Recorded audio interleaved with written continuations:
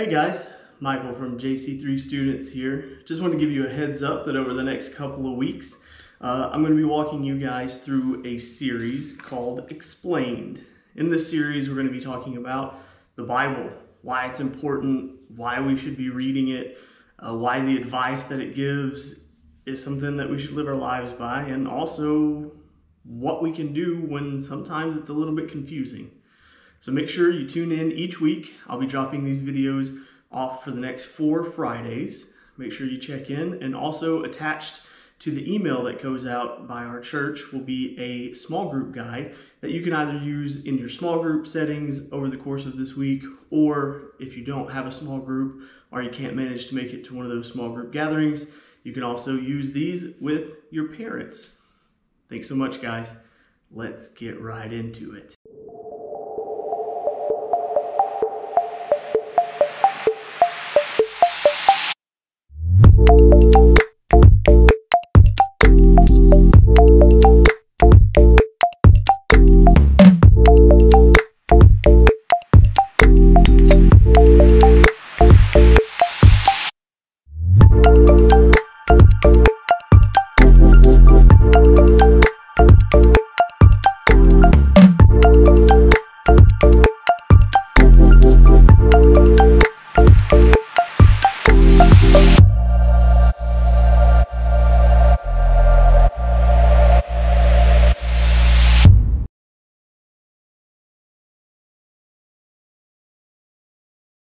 There is no shortage of things that I wish I understood more.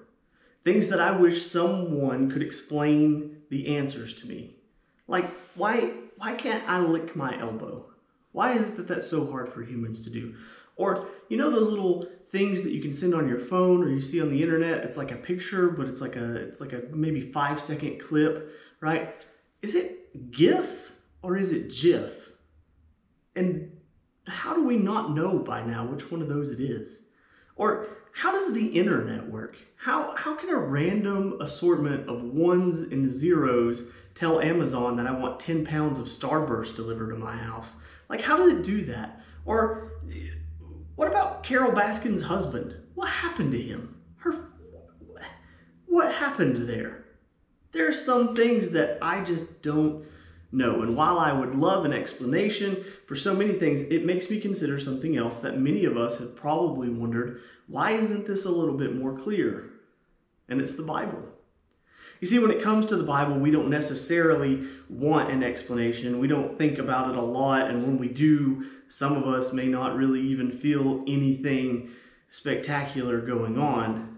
But maybe for you, people talk about it like it's life changing. Maybe you've been in the church for a while and you've heard people like me or people like Luke or uh, your small group sponsors talk about how the Bible can just change your life so drastically. And if you're being honest, when you read it, you kind of wonder what's going on because it doesn't really feel like re- anything is really changing for you at all.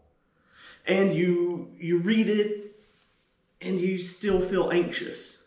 Like the anxiety in your life didn't go away just because you read the Bible. Or you read it and you're still arguing and fighting with your siblings or step siblings. Or you read it and you still don't have a date to that dance that you really want to go to. Or you read it and you still don't have a boyfriend or a girlfriend. And everyone talks about how life changing this book can be, but you read it and things don't seem to change in your life. Or maybe you've even heard people who use the Bible as a way of convincing people that they're wrong. Maybe you've heard people say that action that they're taking is wrong and it's wrong because the Bible says it's wrong. And that really confuses you sometimes because one person may say that the Bible says that that is wrong and another person may say, well, the Bible actually says that that is right. And suddenly you're left wondering, well, who do I listen to? I'm hearing conflicting messages between uh, people of authority, people who say the Bible says this or the Bible says that, and what do I do with this information? Or maybe the Bible has been explained to you by a bunch of different people in a bunch of different ways, but you should still you just don't get it. And some people look at the Bible like it's a history book Some people look at the Bible like it's a weapon that they can use to defend their actions. Some people look at it as it like a cup of coffee. It's a way for them to wake up in the morning. It's the first thing that they do. And it's no wonder that we get confused about the Bible sometimes because we're left wondering what exactly is the purpose of the Bible? What's the point? And what good does it do us in the here and now? What good is the Bible to me as a teenager in my life right now? And I imagine almost all of us have more questions about the Bible than just the ones that I've talked about. There's probably some really personal questions that you have about something that the Bible says or something that you've heard that the Bible says and where it says it and what it means. And you know what? This is a safe place to ask them. You can ask me, you can ask Luke, you can ask your small group sponsors. This is a safe place to get to the bottom because what I want this this series to be and what I want these next couple of weeks to be is I want this to be a time that you can go to people and you can say, I have questions and not be worried. Sorry, I couldn't quite hear Oh, you. Siri. Could you please repeat what you... and and not be worried about what people are going to say or or they're going to judge you or think. This instead i want it to be a time and a place where we can talk about the bible and the questions that you have. And let me be the first to tell you we won't have all of the answers. To every question that you have about the bible uh, the bible is is so old and it's it's so dense and there's so much information in there. And even people like me or Luke or John or Bob who have spent uh, so long in our lives studying the Bible still don't have all of the answers. But what I do hope is that as we take a deeper look at the Bible over the next few weeks, we'll be able to walk away with just a little bit more of it explained and why it's so important to those of us who call ourselves Christian. To start off, the Bible is divided into two big sections, and you may already know this, but for those of you who don't, the Bible is the Old Testament and the New Testament. Now, the Old Testament is often what we call uh, the pre Jesus section. This is a lot of uh, when people in the Bible were what we were called the Hebrew people or the Jewish people. This is before Jesus was born. This section of the Bible, it, it took a lot of, you know, a lot of stories come from this section. Most of the things that you learn in VBS come from this section. Uh, these are stories about God's people and the situations that they find themselves in. And there are a lot of rules and there are a lot of regulations and there are a lot of things that you can do and you can't do. And then we get to the New Testament, and this is, you probably guessed it, the section with Jesus in it.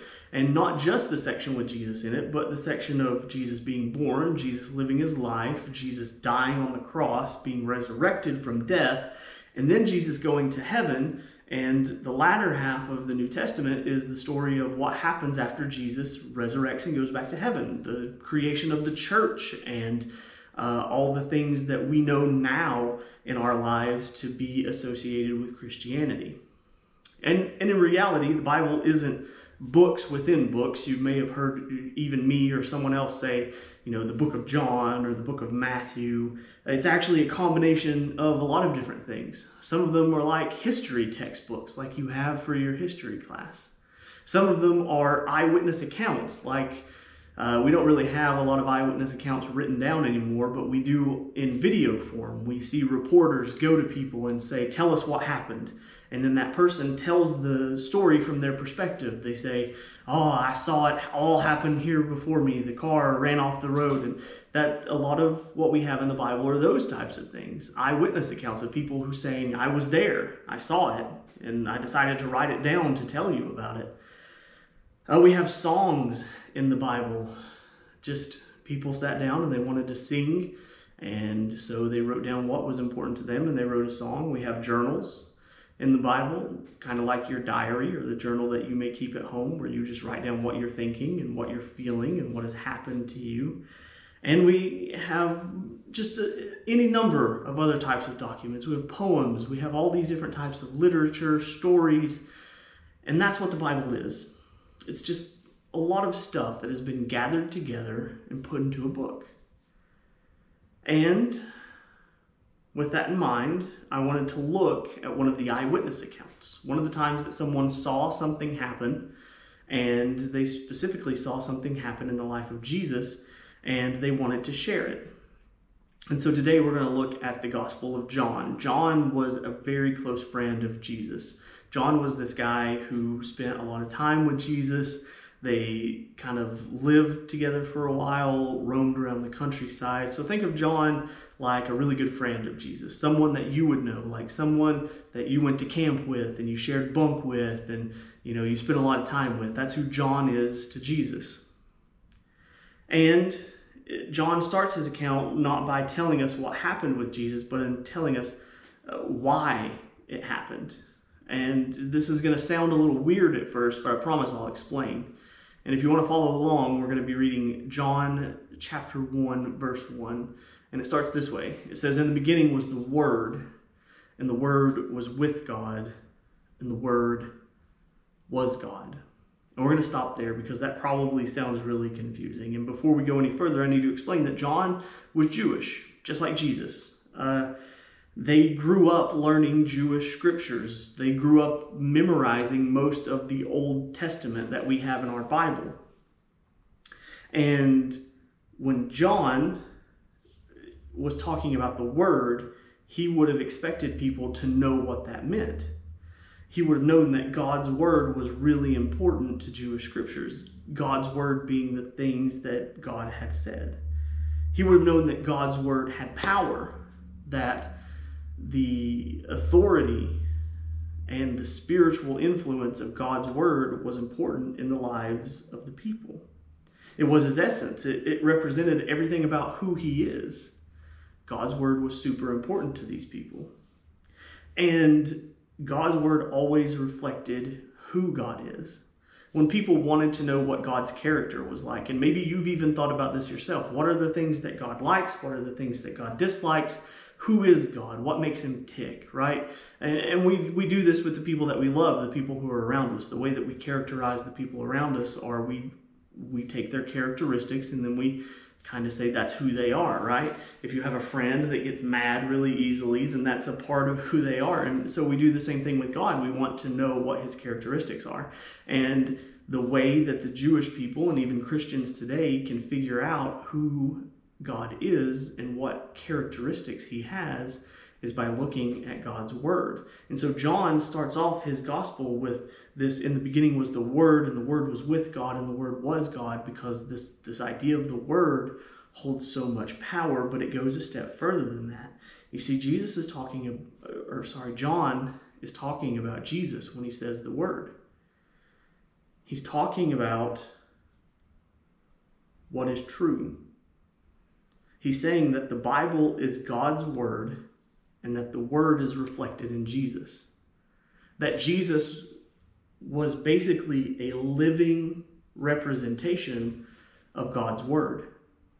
Everything that we learned about the character of God, everything that we know about who God is in the Old Testament, Jesus was the living representation of that.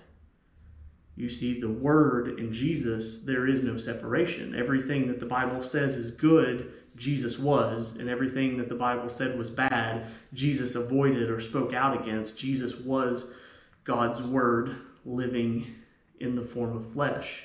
He was a man that was literally the embodiment of God's Word. And the point of the Bible, and I need you to hear this the point of the Bible, from the beginning of Genesis to the end of Revelation, the point of the Bible is to know God better. The whole reason that these stories and collections of eyewitness accounts and poems and songs and all this literature was put together in this one book was it was a way for us to get to know God better. And John takes it a step further. He says in John 1, John chapter 1, verse 14, he puts it this way. He said, The Word became flesh and made his dwelling among us. For we have seen his glory, the glory of the one and only Son, who came from the Father, full of grace and truth. You see, the words in the Bible are from God, but Jesus is the ultimate and clearest message from God. God said, You want to know what I mean when I say all the things that I mean? Here is Jesus. Here's a man that will show you how to live your life the way that I want you to. And I think that's so important because for us, sometimes we can get so confused and so misled and so convoluted in this idea that we don't know what God wants from us. But in reality, He's already shown us.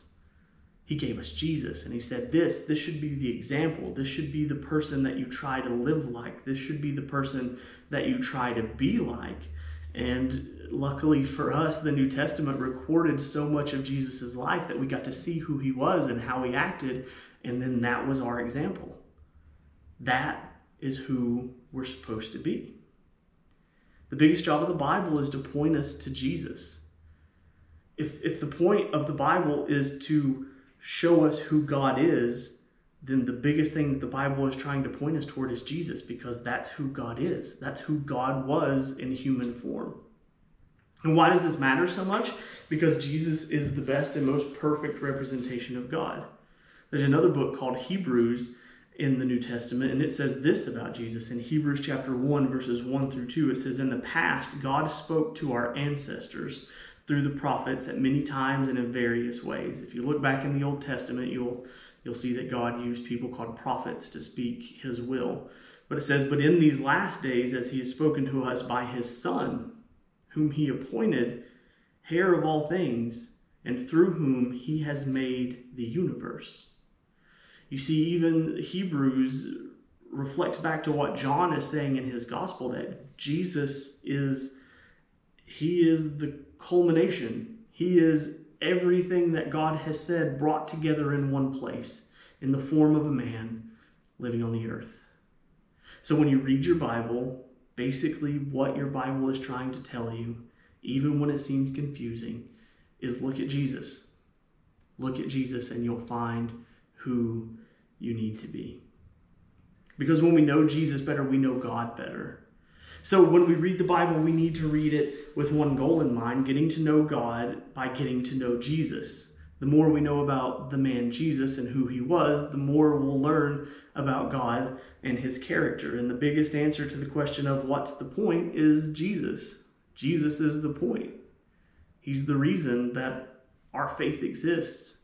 He's the reason that I'm sitting here filming this video in this empty room to talk to all of you. Jesus is the point. So let's look at something Jesus said in order to know God better. And after we read it, I'm going to give you three questions to think through that will help you work with the verse. In a conversation with a religious leader, uh, this religious leader would be like a priest or a pastor of the Jewish faith, but uh, they were unhappy with Jesus because they thought Jesus was doing something that was blasphemous or against the the religion at the time because Jesus was kind of acting like he was God, and he was, but the religious people didn't really like that that much, so they were trying to trick him. So they ask him this question, and it happens in Mark 12, 30 through 31, and I'm going to kind of paraphrase it for you. The religious leader comes up to Jesus and he says, Hey, of all the commandments, of all the rules that God has laid down throughout these centuries, uh, which one is the most important? Now, this was a trick because there were something like 615 different commandments. And if Jesus said one was more important than another, then the religious leader would be able to say, oh, well, if you say this one is more important, then you must think that these aren't important, which is a really kind of stupid way to think about things, but it was what he was trying to do. But Jesus knew what was happening, so his response was, uh, the greatest commandment is this to love the Lord your God with all your heart, with all your mind, with all of your strength.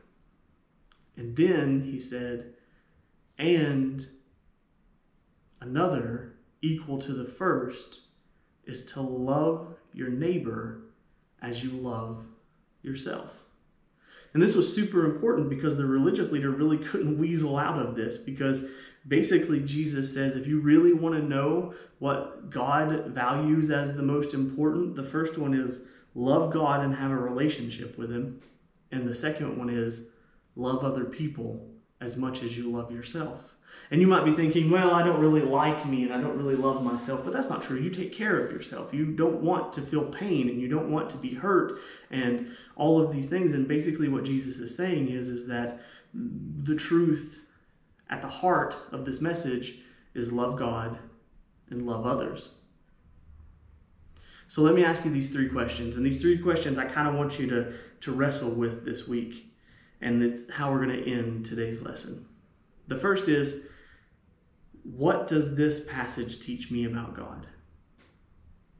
This passage that Jesus shares in Mark of loving God with everything that you have and then loving others as you love yourself. What does that teach you about who God is? Secondly, what does it teach you about yourself? What does it teach me about me? What does it teach me about me that the greatest commandments are that I should first love God above everything else and then I should love others? And lastly, what does it teach me about how I need to live or treat others? Am I the type of person that loves God first and foremost and then loves other people? How do I treat other people? How have I treated other people? And do I need to change that in any way? This, this week, I would recommend that you guys try to read what John wrote in his gospel and begin by asking those three questions. Type your notes down into your phone, maybe take them with you to the next small group that you have, or reach out to me here at the church. Uh, my phone number is on the website, jeffcitychristianchurch.com. Uh, you can reach me at michael at jeffcitychristianchurch.com. If you have questions, ask me questions. Let me know what you think the Bible is all about.